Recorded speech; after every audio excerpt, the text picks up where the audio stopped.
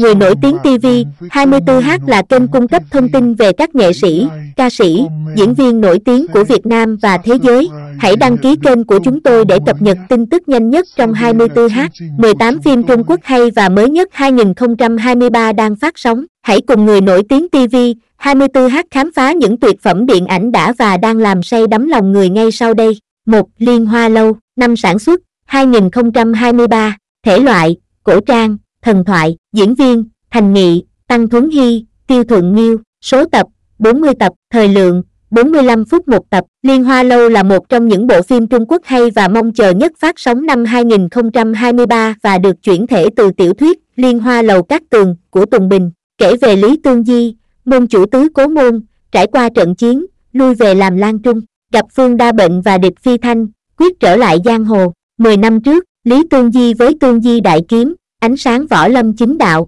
giang hồ vắng bóng hai môn phái, hai trường tương tư, năm sản xuất, 2023, quốc gia, Trung Quốc, thể loại, cổ trang, thần thoại, diễn viên, Dương Tử, Trương Vãn Ý, Đặng Vi, Đàn Kiện Thứ, Đại Lộ Oa, Vương Hoàng Nghị, số tập, 39 tập, thời lượng, 45 phút một tập. Bộ phim Trung Quốc cổ trang 2023 này được đánh giá cao từ cộng đồng người coi. Trong thế kỷ thượng cổ, vùng đất trường tương tư thần tiên, con người, thần linh và yêu tinh sống cùng nhau.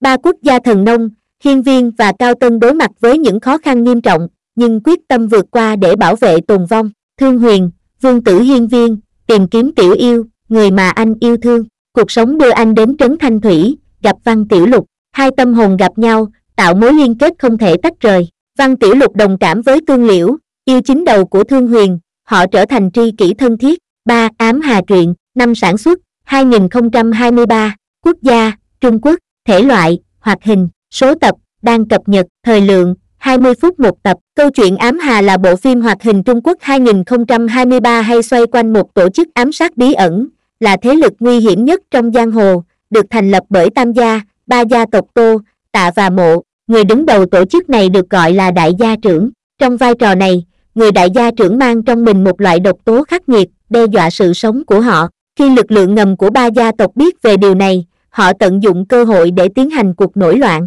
Tô Mộ Vũ là thủ lĩnh của đội hộ vệ của đại gia trưởng, phải đối mặt với hai nhiệm vụ cùng một lúc. Một bên, anh phải tới Dược Vương Cốc để tìm bác sĩ thần y Bạch Hạc Hoài, để cứu chữa cho đại gia trưởng.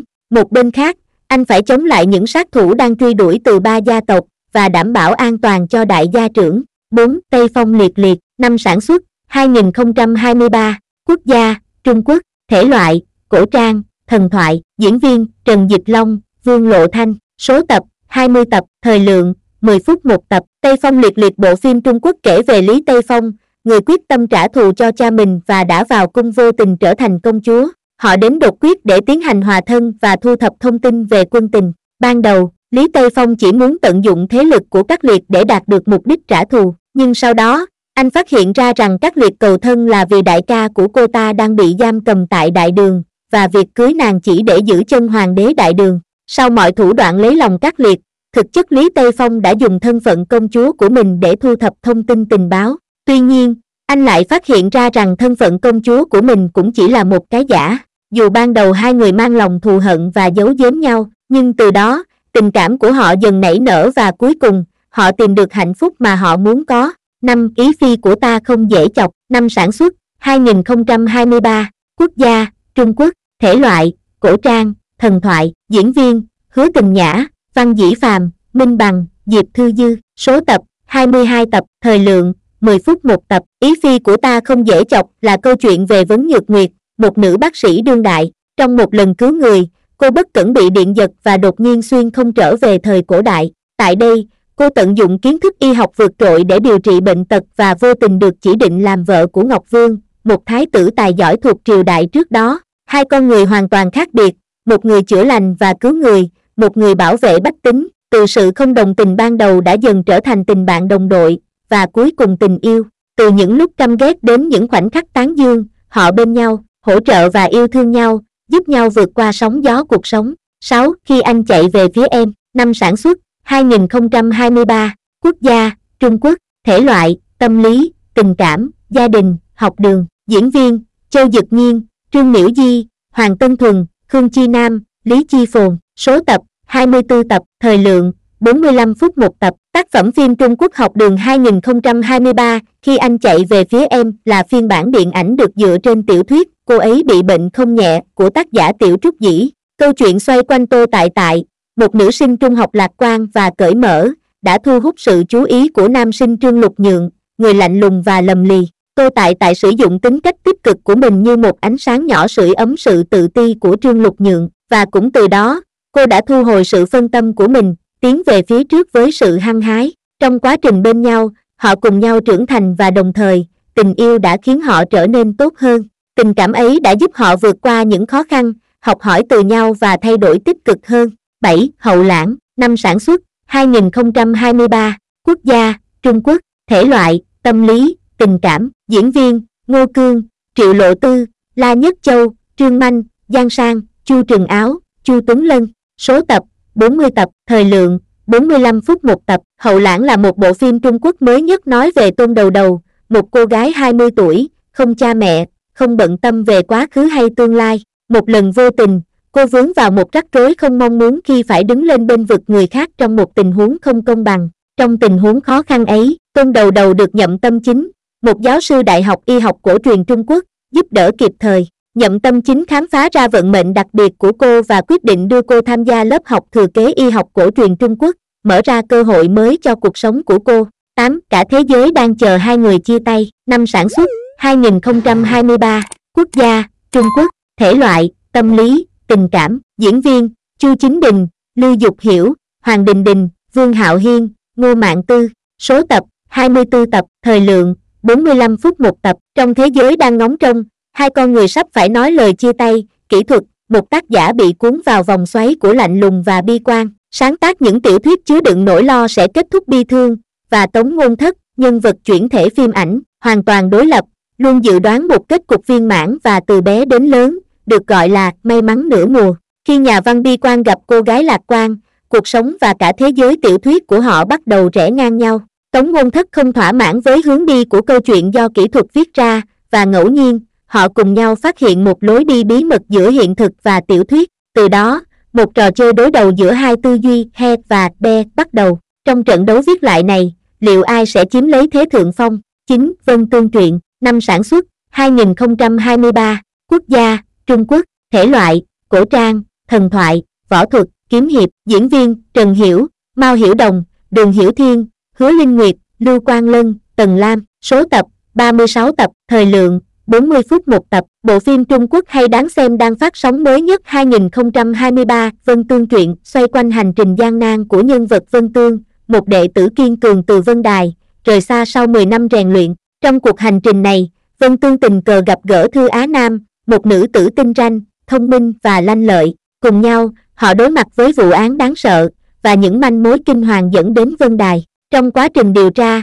tình cảm giữa Vân Tương và Thư Á Nam dần nảy nở, từ tình đồng đội trở thành tình yêu chân thành. Họ quyết định đứng lên bảo vệ chân chính, sẵn lòng hy sinh tính mạng, dũng cảm đối diện hiểm nguy, Vân Tương và Thư Á Nam vượt qua khó khăn, khám phá sự thật đen tối đằng sau vụ án. Những trận chiến cam go đòi hỏi họ phải đối mặt với cảm xúc và lòng kiên nhẫn. 10. Tình yêu thôi mà, năm sản xuất, 2023, quốc gia, Trung Quốc, thể loại, tâm lý, tình cảm, diễn viên, Ngô Lỗi, Châu Vũ Đồng, Mã Phàm Đinh, Hạ Hạo Nhiên, Lý Khanh, Sài Tuyển Triết, Cao Minh Thần, số tập, 38 tập, thời lượng, 45 phút một tập, tình yêu mà thôi kể về hai nhân vật chính là Lương Hữu An, người quản lý tài năng trong công sở và Tống Tam Xuyên, vận động viên cầu lông chuyển sang môn quần vợt. Họ tình cờ gặp nhau và cùng gia nhập một câu lạc bộ quần vợt. Dù xuất phát từ hai lĩnh vực hoàn toàn khác nhau, nhưng họ quyết định hợp tác, cùng nhau xây dựng một câu lạc bộ chuyên nghiệp. Trong quá trình hình thành câu lạc bộ, Lương Hữu An và Tống Tam Xuyên ngày càng gắn bó và nảy sinh tình cảm dành cho nhau. Họ đồng lòng vượt qua mọi khó khăn, sát cánh bên nhau trong những thử thách và khó khăn. Những lúc mâu thuẫn quan niệm hay mâu thuẫn về kinh nghiệm đối diện không làm hao mòn tình yêu của họ, ngược lại, là thách thức để họ cùng nhau trưởng thành và lớn mạnh. 11. Tinh lạc ngưng thành đường, năm sản xuất, 2023, quốc gia, Trung Quốc, thể loại, cổ trang, thần thoại, hài hước, diễn viên, Trần Tinh Húc, Lý Lan Địch, Trần Mục Trì, Hà Tuyên Lâm, Tần Thiên Vũ, Châu Chim, số tập, 40 tập, thời lượng, 45 phút một tập. Tinh Lạc Ngưng Thành đường kể về Thanh Quy và Dạ Đàm, hai nàng công chúa sinh đôi thuộc gia tộc Ly Quan Thị. Thanh Quy là người tỷ tỷ, từ tính tình dịu dàng và hiền lành, đã được gả cho thần tộc làm thiên phi. Còn Dạ Đàm, em muội, sở hữu trí tuệ sắc sảo, và cũng đã được gả cho ma tộc làm ma phi. Tuy nhiên, do sự nhầm lẫn không may, hai nàng đã bị đưa tới những nơi sai trái, gây ra vô số tình huống hài hước. Điều này đã tạo nên hai câu chuyện tình yêu thần thoại đẹp để bổ sung vào cuốn sách phim Trung Quốc hay. 12. Cửu tiêu hàng dạ noãn, năm sản xuất, 2023, quốc gia, Trung Quốc, thể loại, cổ trang, thần thoại, hài hước, diễn viên, Lý Nhất Đồng, Tất Văn Quân, Trần Hạc Nhất, Hà Thụy Hiền, Mã Nguyệt, Dương Sĩ Trạch, Vương Mậu Lôi, Đặng Anh, số tập, 36 tập, thời lượng, 45 phút một tập. Cửu tiêu hàng dạ noãn là bộ phim Trung Quốc 2023 hay và đáng mong đợi về thể loại thần thoại, cổ trang. Phim kể về cuộc gặp gỡ giữa Tô Cửu Nhi, một nữ bộ khoái lo sợ lạnh đến từ Kiền Quốc, và Hàng Tranh, thiếu chủ của tộc Kỳ, có biệt danh ngoài lạnh trong nóng. Cả hai vô tình liên quan đến một vụ án giết người liên quan đến hai gia tộc. Họ tình cờ trở thành đối tác trên lệch nhiệt độ, phải cùng nhau vượt qua màn sương mù của âm mưu đen tối, đồng thời tìm ra sự thật đằng sau vụ án để giải quyết mối nguy hiểm đang đe dọa đến quốc gia. 13. Đi đến nơi có gió, năm sản xuất, 2023, quốc gia, Trung Quốc, thể loại, tâm lý, tình cảm, diễn viên, Lưu Diệt Phi, Lý Hiện, Hồ Băng Khanh, Ngư Tuấn Phong, số tập, 40 tập, thời lượng, 45 phút một tập. Phim đi đến nơi có gió kể về cuộc sống và công việc của Hứa Hồng Đậu, Lưu Diệt Phi, người đã trải qua cú sốc lớn sau cái chết của người bạn thân nhất. Cô cảm thấy chán nản và buồn bã, quyết định tạm rời khỏi môi trường quen thuộc để nghỉ ngơi và điều chỉnh tâm trạng. Hành trình đưa hứa hồng đậu đến thôn Vân Miêu ở Đại Lý, nơi cô gặp Tạ Chi Giao, Lý Hiện. Tạ Chi Giao đã từ bỏ công việc lương cao và quay trở về quê hương để khởi nghiệp. Họ cùng nhau chia sẻ những câu chuyện, niềm vui và khó khăn trong cuộc sống. Bên cạnh Tạ Chi Giao, Hứa Hồng Đậu còn gặp một nhóm bạn đồng trang lứa đến từ các thành phố lớn khác, và cùng họ trải qua những trải nghiệm thú vị và học hỏi lẫn nhau. Cuộc gặp gỡ này đánh dấu bước ngoặt trong cuộc sống của Hứa Hồng Đậu và mở ra những cơ hội mới trong tương lai. 14. Trường Nguyệt Tẩn Minh, năm sản xuất, 2023, quốc gia, Trung Quốc, thể loại, tình cảm, tu tiên, diễn viên, La Vân Hy, Bạch Lộc, số tập, phần 1 gồm 34 tập và phần 2 gồm 24 tập, thời lượng, 45 phút một tập. Phim Trường Nguyệt Tẩn Minh là sự tái hợp của cặp đôi Bạch Lộc và La Vân Hy. Cả hai đã từng tạo nên bộ phim tình cảm nổi tiếng là nửa là đường mật, nửa là đau thương. Nội dung của phim khá mới mẻ, lấy cảm hứng từ bộ tiểu thuyết huyền huyễn của tác giả Đằng La Vi Chi. Nữ chính Lê Tô Tô vốn là con gái của trưởng môn phái hành Dương Tông. Cô đã gan dạ nhận nhiệm vụ quay trở về 500 năm trước để ngăn chặn tà cốt xâm chiếm thân thể của ma thần đạm đài tẩn. Sau cùng, cô đã dùng công đức này để đắc thành đạo quả, thay đổi kết cục của ma thần và bảo vệ tam giới. 15. Hồ Yêu Tiểu Hồng Nương, năm sản xuất, 2023, quốc gia, Trung Quốc, thể loại, tình cảm, tiên giới, diễn viên, cung tuấn, dương mịch, số tập, 40 tập, dự kiến, thời lượng, chưa có thông báo chính thức về thời lượng của mỗi tập phim. Bộ phim Trung Quốc, Hồ Yêu Tiểu Hồng Nương, là câu chuyện tình yêu đầy sóng gió giữa tiểu hồ ly tên Đồ Sơn Hồng và đạo sĩ Đông Phương Nguyệt Sơ.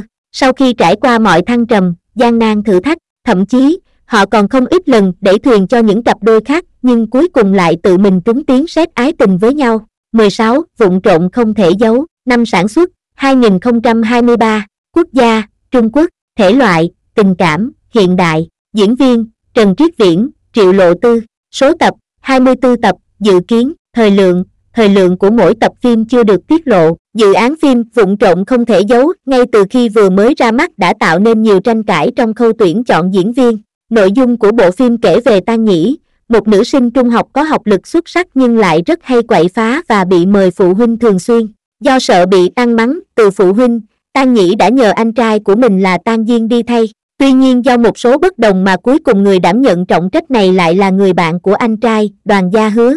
Cả hai đã cùng nhau xây dựng nên đoạn tình cảm ngọt ngào. 17. Bảy kiếp may mắn, năm sản xuất, 2023, quốc gia, Trung Quốc, thể loại, lãng mạn, viễn tưởng, cổ trang, diễn viên, Dương Siêu Việt, Đinh Vũ Hề, số tập, 36, thời lượng, khoảng 1 tiếng 20 phút mỗi tập. Bộ phim Trung Quốc 7 giờ may mắn được đạo diễn Lý Nam đảm nhiệm.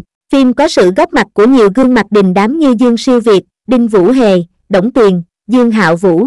Nội dung của bộ phim được lấy từ tiểu thuyết đình đám, một giờ manh động, bảy kiếp xui xẻo. Câu chuyện kể về việc có hai thần tiên bị Ngọc Hoàng phạt bảy kiếp nhân duyên ở hạ giới bởi lỗi làm rối tơ của Nguyệt Lão. Cũng từ đây, những chuyện thú vị bắt đầu xảy ra. 18. Nghe nói em thích tôi. Năm sản xuất, 2023. Quốc gia, Trung Quốc. Thể loại, tình cảm, hiện đại. Diễn viên, Vương Sở Nhiên, Bành Quán Anh. Số tập, 36 tập. Thời lượng, 45 phút một tập.